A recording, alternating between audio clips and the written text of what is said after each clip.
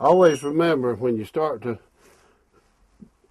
get off your machine or stop your machine to be parked for a while, remember to put your parking brake on, which is right here. Just pull up.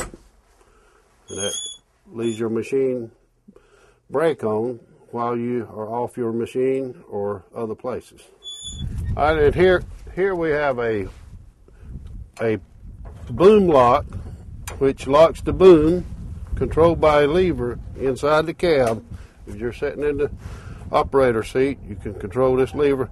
Drops this latch down on the boom so when you're working your front bucket and maneuvering, this boom is more stable and not dependent on the hydraulic cylinder to support it.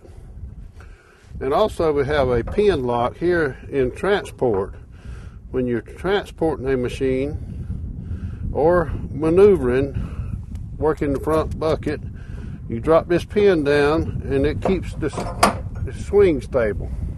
And on the front bucket, as you need to do maintenance or checks around the front area of the machine, sometimes it's needed to raise the boom, but the safety factor is to pull this pin, take this pin out, and it drops down. Lower your lift down till it rests upon this, and then you're not dependent on the hydraulics to hold it.